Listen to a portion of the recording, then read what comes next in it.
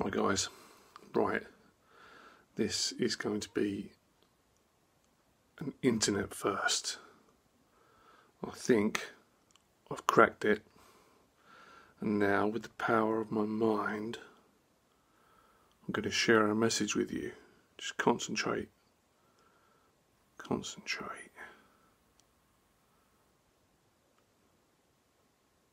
Oh, I really need a poo!